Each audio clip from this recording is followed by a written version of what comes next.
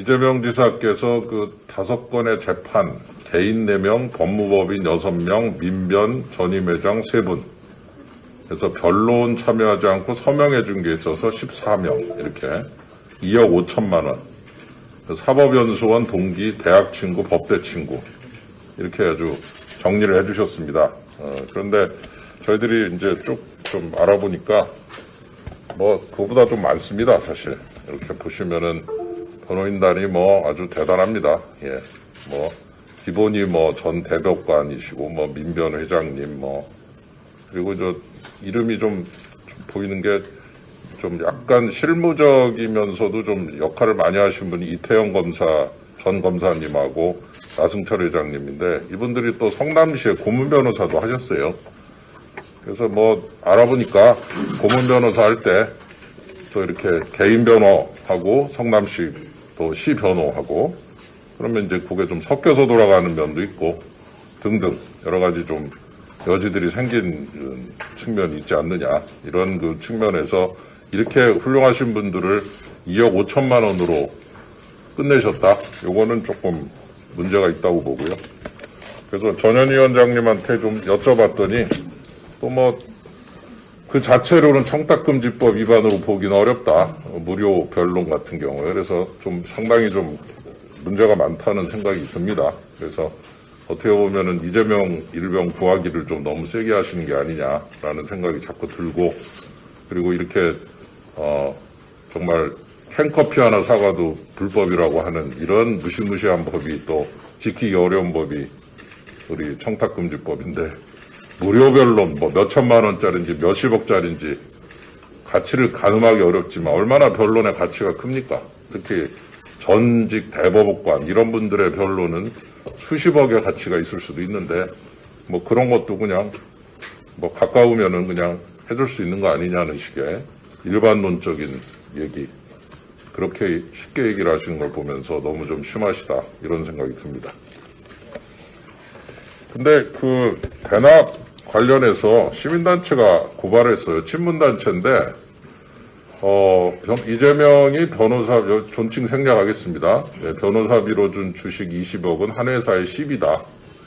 그래가지고서 이제 이 회사의 10위가 도대체 어디 있으며 어떤 회사냐 봤더니, 어, 쌍방울이었습니다. 네.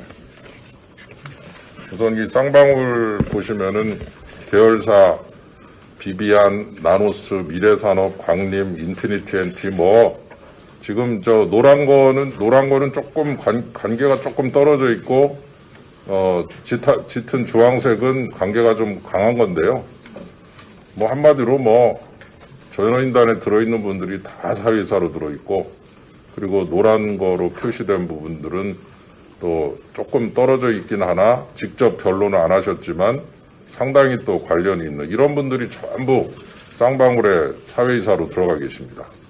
그래서 뭐 사회이사 들어갈 수도 있지 않는 거냐 뭐 전문인들을 잘 모셨다고 하는데 뭐 제가 지배구조를 직접 전공하지 않았지만 투자로원을 가르친 교수 출신으로서 이렇게 동질적 사회이사들이 한 군데 이렇게 들어가서 전부 역할을 하면서 이렇게 의사결정을 했을 때 이게 좀 문제 있는 거 아니냐 이런 생각이 들고 그리고 어떤 의사 결정이 필요하다 그러면은 이분들이 합쳐서 그냥 한 방향으로 싹 결정해버리고 반대 얘기들은 하나도 받아들여지지 않을 수 있는 어떤 동직 동질적 의사 결정을 할 수 있는 그런 토대가 마련돼 있지 않느냐.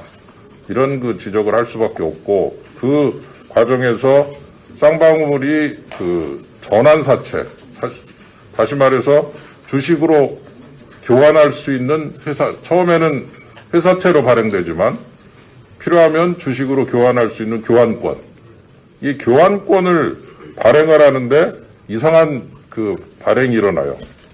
바로 그 2021년에 발행된 이 부착 이거 아주 제가 볼 때는 이거는 저 문제 많습니다. 왜냐하면요 이 어, 쌍방울 12 요거는 그 어, 3호 전환 사채입니다. 시- 쉽게 말해서 누가 이 시비를 가져갈지를 미리 정해놓고 발행하는 겁니다.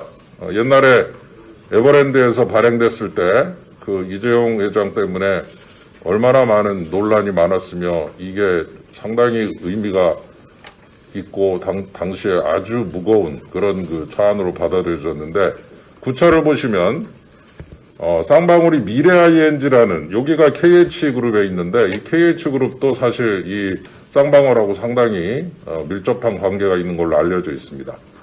이 미래 ING한테 발행을 해서 45억 받고 그 다음에 어, 11개월쯤 있다가 회수를 합니다. 돈 그러면 12 발행하고 돈 받았죠? 그 다음에 그 돈에다가 약간 얹어갖고 돈 주고 다시 회수했습니다.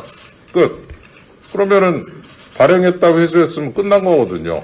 근데 이렇게 끝난 줄 알았더니 그 시비를 가지고 있다가 주식으로 전환할 수 있는 시간이 딱 다가왔는데 그 시간이 지나갔고 이제 주식으로 교환할 수 있는 시기가 됐는데 그때 어떻게 하느냐? 그거를 다시 제3자한테 넘깁니다. 그 누구냐 도대체 다섯 명의 개인입니다. 그 이상하지 않습니까? 처음에 이 시비를 네가 사면 내가 돈을 받아서 쓰고 다시 돈 갚으면 회수다. 그러면 그걸로 끝난 건데.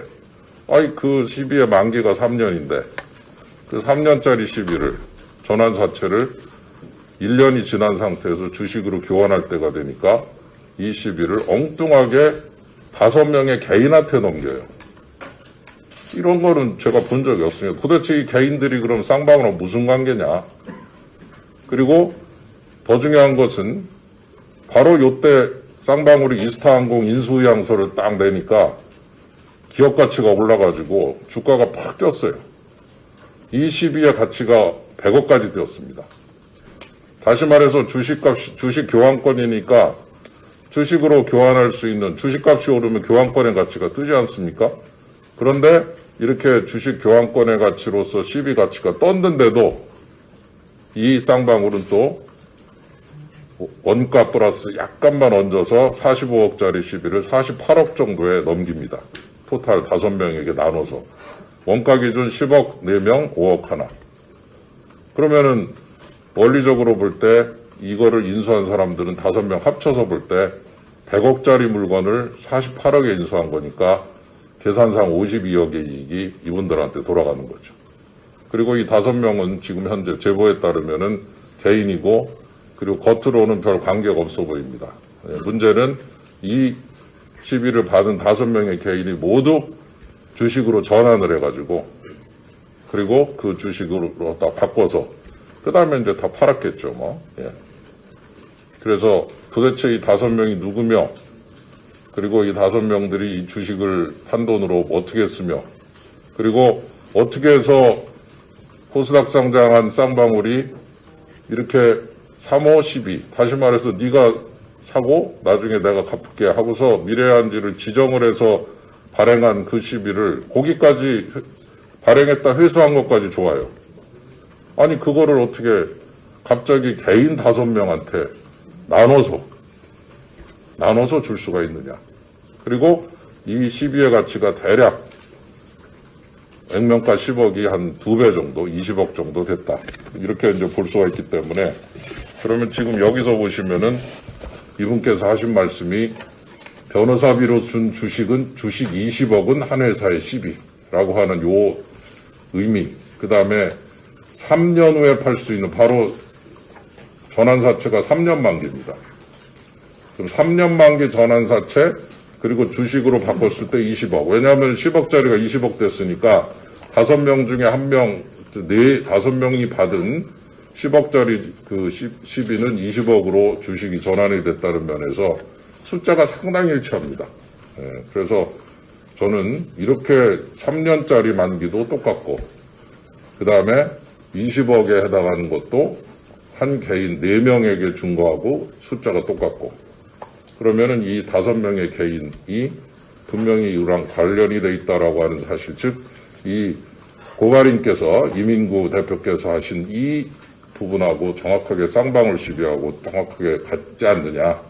그렇다면은 이분이 말씀하신 이 시비가 바로 쌍방울에서 발행한 9차, 9차 발행한 이 3호 시비하고 상당히 유사한 그런 구조를 가지고 있다는 면에서 의심을 가, 질 수밖에 없고 그런 면에서 어, 이 부분을 좀 확실하게 다뤄야 되겠다 이런 생각이 듭니다. 해서 이, 이 부분이 어, 조금 더 확인을 해야 될 부분이 남아 있지만 그러나 적어도 이런 식으로 변호사비라고 하는 것이 다양한 형태로 대납이 됐다면 이거는 그대로 넘어갈 수 없는 것이고 반드시 이 부분을 따져야 될 것이고 또 이게 변호사비가 혹시 아니다 할지라도 3호로 발행 A한테 발행돼서 A한테 회수를 했으면 끝난 거지. 왜 개인한테 그거를 주며 그 줄 시점이 언제냐 이스타항공 입찰을 해가지고 주가가 뜰 때 그걸 딱 원가에 줬다 그래서 받은 사람이 그 자리에서 두 배를 먹을 수 있도록 했다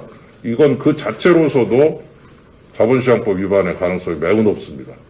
그래서 이런 면에서 당국이 이 부분을 확실하게 좀 정리를 해서 수사를 해 주셔야 된다. 저는 그렇게 생각하고 이런 식으로 만일 하셨다고 하면은 이거는 정말 여러 가지 면에서 어, 문제가 좀 있다라는 면에서 상당 부분 잘 좀 들여다봐야 되겠다. 그런 생각이 듭니다.